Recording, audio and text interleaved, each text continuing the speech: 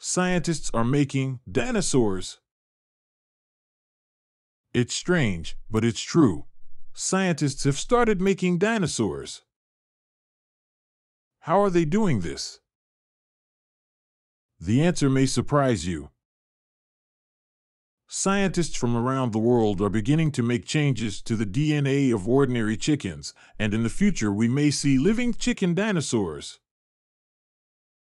In Chile, in 2015, scientists changed chicken DNA to make the feet of chickens more similar to dinosaur feet, and in 2016 the same scientists made the legs of chickens more like dinosaur legs. Meanwhile, scientists in the United States have been successful in making chicken beaks more like the mouths of dinosaurs. All this is possible because birds evolved from dinosaurs many millions of years ago. A good example of bird evolution is the hoatzin. It is a bird that lives in South America, and when it is a baby, it has claws on its wings that it uses to climb trees. So, in the future, some chickens may also have skin, tails, and even arms, like dinosaurs.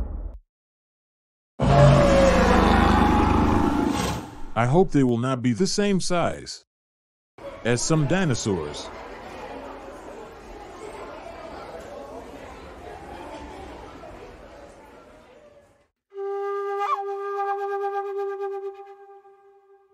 The complete, multi-page worksheet lesson plan, based on this video, is now ready to download, for free, in the link in the description below. Thank you for watching this video.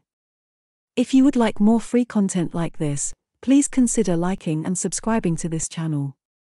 Or visit www.allthingstopics.com, link in the description below.